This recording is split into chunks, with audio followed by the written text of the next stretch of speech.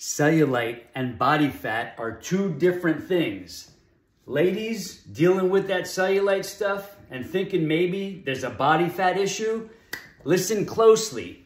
Body fat and cellulite, the dimples, ripples, and shadows are two different things. Now, who am I to be talking about this and telling you what to do next? I'm Joey Atlas, master's degree exercise physiology. I've been helping women with cellulite for decades decades. And if you if you're not sure, like, is this guy being truthful or not? I'm going to tell you what to do at the end of this video, but you're going to want to hear this first. Listen to me.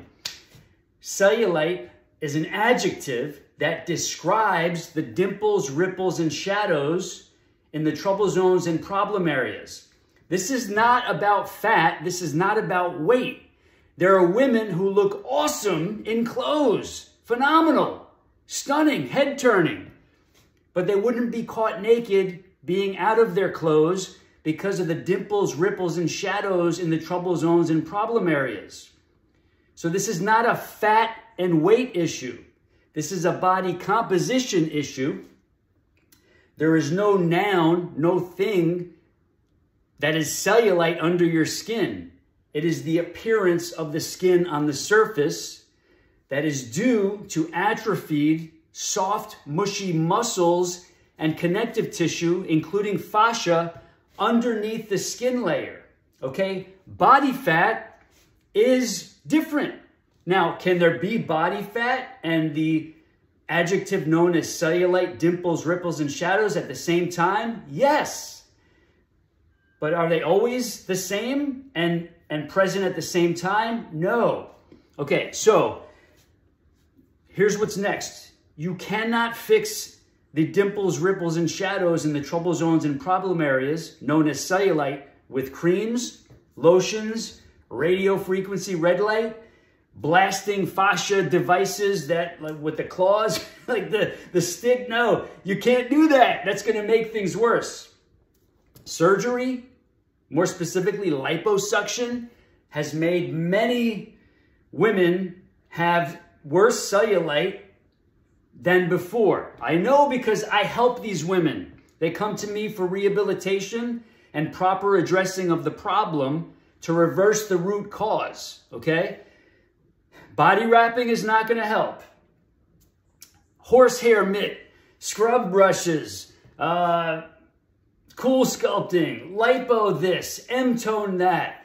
Good Lord, you name it. I don't even know where to, to, to begin and where to end, but none of these $6,000, $5,000, $4,000, $300, uh, $20,000 surgeries, procedures, Cellulaze, eh, whatever, you name it, it's not going to get rid of the quote unquote cellulite problem.